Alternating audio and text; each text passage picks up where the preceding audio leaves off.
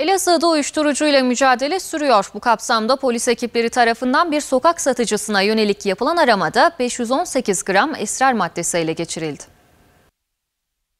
Elazığ İl Emniyet Müdürlüğü Narkotik Suçlarla Mücadele Şube Müdürlüğü uyuşturucuyla mücadelesini sürdürüyor.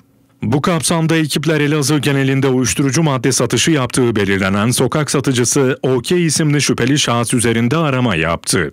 Aramada 518 gram esrar maddesi ele geçirildi. Şüpheli gözaltına alınarak adliyeye sevk edildi. Şüpheli tutuklanarak cezaevine gönderildi.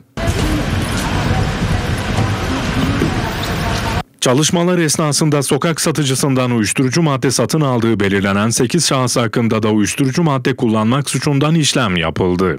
Ayrıca kullanıcı olan şahıslardan da 1 gram metamfetamin, 1,5 gram kubar esrar ve 1 gram da toz esrar maddesi ele geçirildi.